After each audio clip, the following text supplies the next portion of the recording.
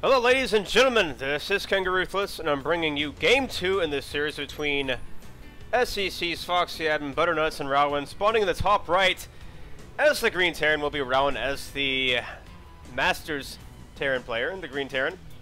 Uh, Rowrin was able to take down Butternuts in the last series, and let me go ahead and introduce Butternuts here in the bottom left as the Orange Zerg. Rowrin pretty much did a very straightforward uh, strategy that Terrans do. It's pretty much you uh, get down your barracks, you get down your refinery, you make maybe a marine, you feign some bunker pressure, while you get out your Hellions, maybe four while you transition into something else, maybe say double orbital, which is what Rowrin did last game, or potentially something like Banshee, Hellion, or I don't know. There's tons of options. It's just an opening that Terrans can do to apply some early game pressure to Zergs. Unfortunately, Butternut's um, not quite having the best build order and kind of falling victim to that bunker really fast, uh, you know, pretty much gave up the game there. So Rowrin did some really nice harassment there. Butternuts was not able to handle it, and that was game one for you. But this is game two, and this is on GSL Daybreak. I mean, literally anything can happen from here. So we will see exactly what goes on. And again, this is game two of the best of three series between Butternuts and, and Rowrin. This is the first game I'll be casting of this uh, SCC's Butters Bash is what it is called. It is a round robin style tournament where uh, all you have to do really is make an account on starcraftcentral.net, make a post, and sign up, and you have a chance to win 50 bucks. Now, how do you win this tournament if it's a round robin formula or format? Well, the person with the most wins and the fewest losses, I believe, in the round robin will win first prize. This was $50. I think second prize is 25 or $20, and third place is $5, and it can be split uh, more than one way you know, multiple $5 prizes, of course. Now that's just according to, uh, I guess, you know, how many people sign up. Of course, we had a decent showing for this uh, for this tournament. We would like to have more, so if you guys are interested and when this uh, next tournament may occur, definitely sign up. Again, that's on StarCraftCentral.net, and that is all the plugging that I'll do for this game. So here we have the spawning pool going down after the hatchery. Looks like the drone is in the base for uh, Butternuts, and he sees the, the, the timing of this refinery. And actually grabbing the Vespene Geyser here is a smart idea. It's going to keep the Marines at home. Uh, Rowrin's going to have to play a little bit more, I guess, standard and a little bit less aggressive. Now, an engineering bay, wow, it's actually going down here. This is going to block some of the mining. But I feel like the drone sphere could be better served more or less just mining at this point. It's not blocking that much. You're not going to transition that many drones to this natural. Maybe maybe four. Uh, so this engineering bay is actually kind of a waste, in my opinion. I, I wouldn't do it, but it's kind of thrown off Butternuts, who's losing mining time. Um, I feel like two queens and then just drone up at this point, because he's made an engineering bay. You know he's not attacking you anytime soon. But down goes the factory. I mean, at this point, you really just need to drone up, like, super hard. Uh, you can, you know, potentially go for the queen opener. It looks like Butternuts is going to go for the speed opener. There is no problem with going for speed in this matchup. It will help thwart those Hellion uh, harassments that may occur. But a couple of uh, Zerglings come to come out here and finish off this uh, engineering bay. Let's see if Rowrin is actually paying attention and cancels it. Yes, he does. Nice cancel there by Rowrin. And now this uh, reactor's done here on the barracks. It will swap out with the factory, and we immediately have a command center. So macro play here from Rowrin. Just going to make a couple of Hellions here at the beginning uh, to do some sort of harass.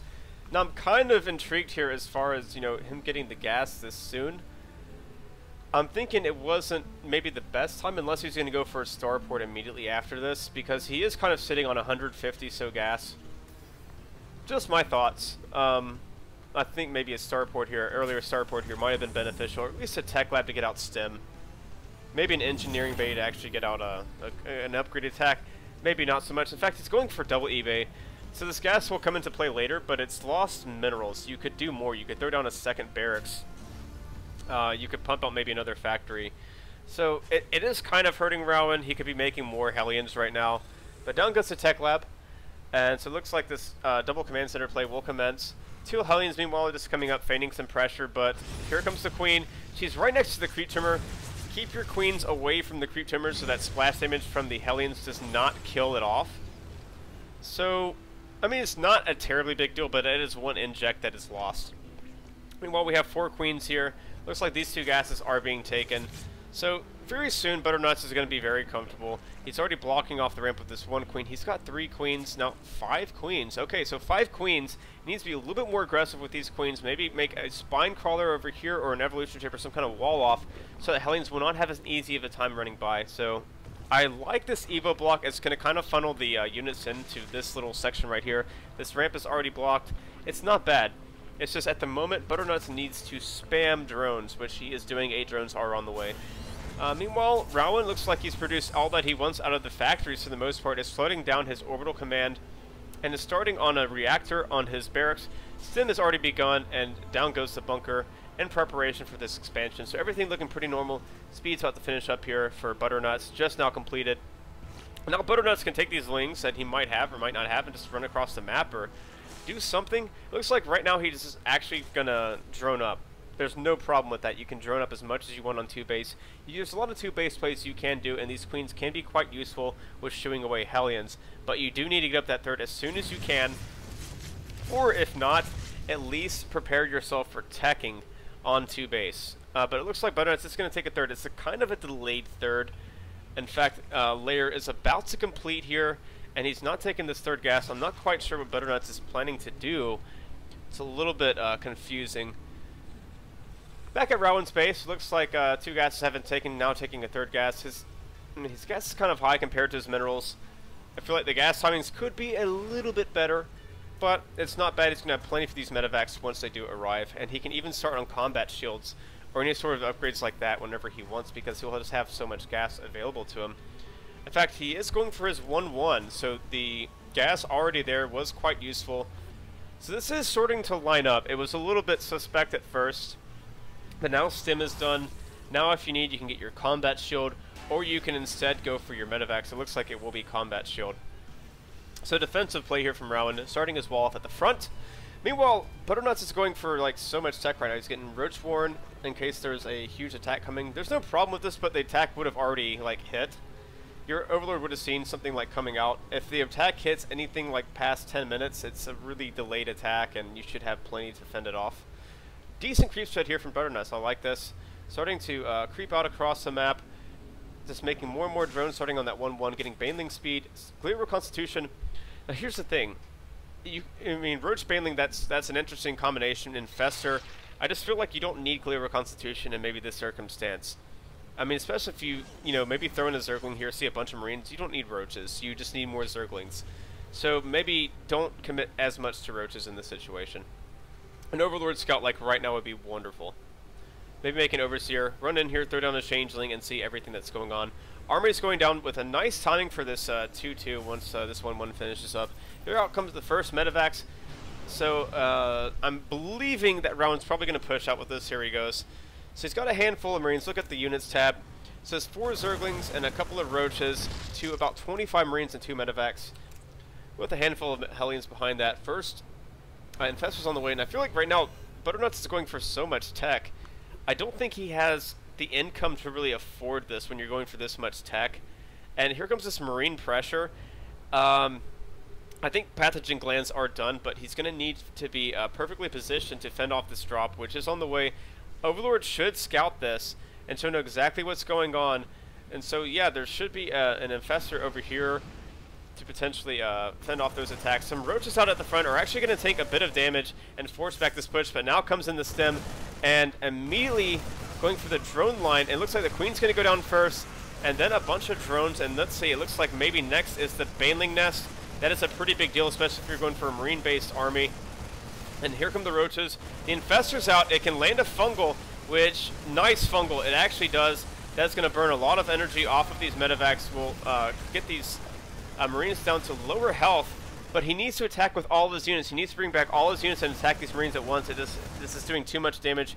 Meanwhile, we have lots of barracks down, and Rowrin's kind of forgetting to macro at this point focusing a little bit too much on micro at this point. Just lift up your Marines and get out. You've done all the damage you need to do. Don't, you know, don't push it. Macro is important here. I mean, you could have uh, about 120 supply Marines at this point. Another command center going down. Rowrin's looking really good. Kind of slow on his 2-2 upgrades. He can totally afford it. Slipping in macro here a bit. But now starting on his Marauder production as well.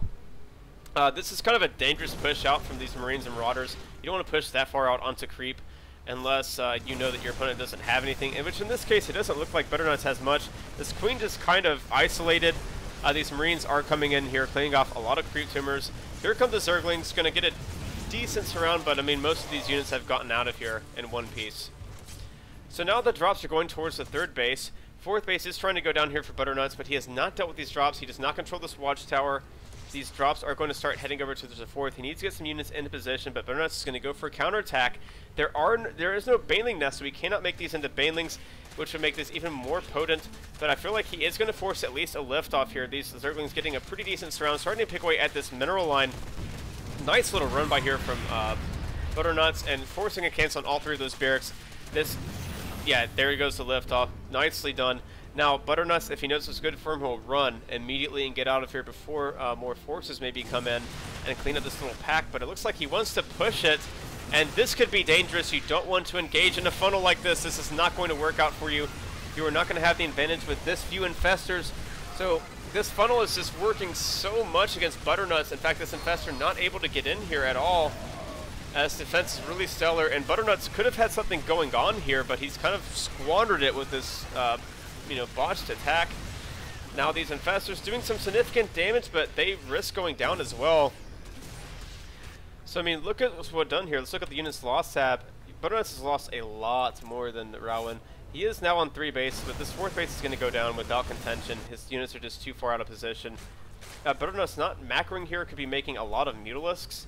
Uh, could just be running around the map, harassing non-stop, but uh, instead this fourth base is going to go down. Had that fourth base, you know, stayed up, he actually could have teched a hive pretty quickly. Maybe gotten a uh, fifth base as well and just out macroed Rowrin, whose macro is a little bit behind, but I mean, he's up on the supply lead because Butternuts just isn't making units. Uh, I guess not enough larva. oh, so sorry, I meant to not sneeze into the uh, microphone. Another drop going down here at the third base. We'll get cleaned up uh, without issue. Losing a couple of drones there, but not able to shoot away. I mean, someone you know, corruptors at least. I mean, I would go for Mutalisk in this situation, or just get a bunch of infestors and just spam away. I don't know. I mean, it's all up to you when you have this much gas. Um, but again, Butternuts is continuing to turn up. I like this. But Rowrin's going to now be on four bases, and four base Terran is going to destroy a three base Zerg. No problem. Spire's finally going down. 2-2 on the way. Seven infestors. Okay, so this is interesting. This can work if uh, Butternuts gets some pretty good engagements, can whittle down this army, and can force a lift off at this fourth, while taking his own fourth and possibly fifth, double expanding, he can come back in this game. So, it is still anyone's game to win or lose. Another drop coming in. This Overlord is again in place, but Butternuts, what are you doing? He's re always retreating right when this drop is coming in. I guess he saw this uh, other drop coming here towards the front. Uh, sending his units in in a line, but here comes the other attack at the... Uh, at the main base. Uh, this will be plenty to do damage to the rest of this army. It is being forced back, um, but that's not enough to take care of it. He actually retreats with the rest of his army, being split in too many places. Two of the infestors potentially going down. Yes, two infestors. Three fungals are landed, and more fungals going down, but that's just not enough damage. And I feel like Bonus really bungled this uh, defense here. Rowrin doing some nice multitasking, uh, Still not doing the best job macroing, but we'll forgive him for that. He's actually winning these engagements here. A third drop going down here at the third. GG gives Butternuts before his Hive can actually start kicking in. So nice multitasking there from Rowrin. Unfortunately falling a little behind his macro, but it was enough to defeat Butternuts handily. So 2-0 wins Rowrin for the round one of the SCC's Butters Bash. Rowrin takes the lead, 2-0. So, that will do it all for this series. I will see you guys next time. Your host is always Kanga Ruthless. Peace.